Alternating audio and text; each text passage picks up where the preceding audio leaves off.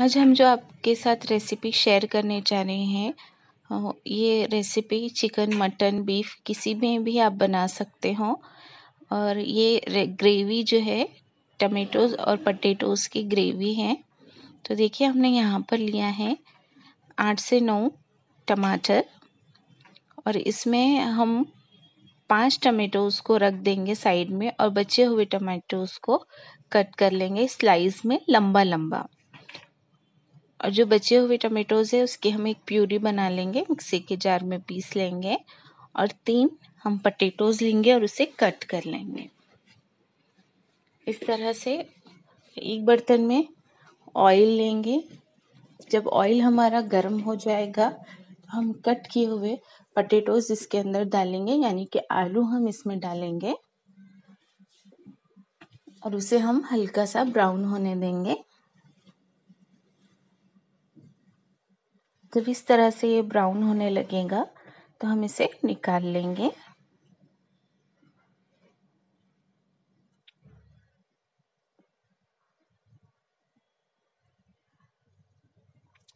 उसी ऑयल में हम कट किए हुए टमाटर्स डालेंगे। और साथ ही में इसमें जाएगा वन टीस्पून अदरक लहसुन का पेस्ट टू टीस्पून लाल मिर्चों का पाउडर हाफ़ टी स्पून हल्दी पाउडर, टू टीस्पून धनिया पाउडर।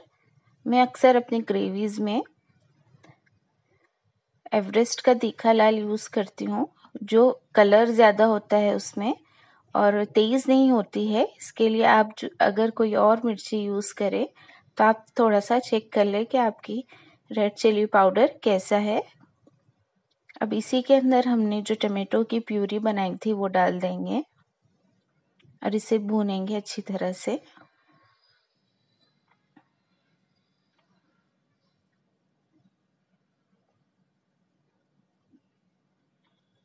थोड़ा सा भून जाने के बाद हम इसके अंदर मटन, बीफ, गोश्त कुछ भी डाल सकते हैं। मेरे पास बॉईल किया हुआ मटन था तो मैंने वो डाला है। और साथ ही में इसमें हमने डाले हैं चार से पाँच हरी मिर्ची, साबित हरी मिर्चें हैं। अगर आपके पास बॉईल किया हुआ मटन ना हो तो आप डायरेक्ट इसके अंदर फ्रेश मटन भी डाल सकते हो। ये इसमें गल जाएगा। साथ में ही में हम इसमें डालेंगे फ्राई किए हुए पटेटोज यानी कि आलू। और हम इसे भूनेंगे। नमक भी डाल दिया हमने। नमक हम अपने टेस्ट के अकॉर्डिंग डालेंगे। इसे अच्छी तरह से भून लेंगे।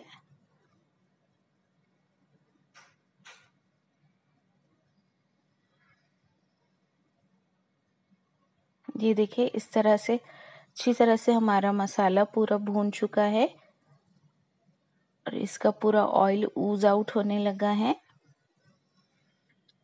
अब इस स्टेज पे हम इसके अंदर डालेंगे पानी। पानी आप अपने ग्रेवी की थिकनेस के हिसाब से डालें, लेकिन ये ग्रेवी पतली ही अच्छी लगती है, ज़्यादा थिक खाने में मज़ा नहीं आता है। तो इसके लिए मैंने इसमें दो ग्लास पानी डाला है। ऊपर से हम इसके अंदर डालेंगे होममेड गरम मसाला पाउडर जो हमने हाफ़ टी स्पून लिया है। और हरा धनिया हमने कट करके इसमें डाला है फ्रेश हरा धनिया। और अब हम इसे थोड़ी देर बॉईल आने के लिए यूँ ही छोड़ देंगे।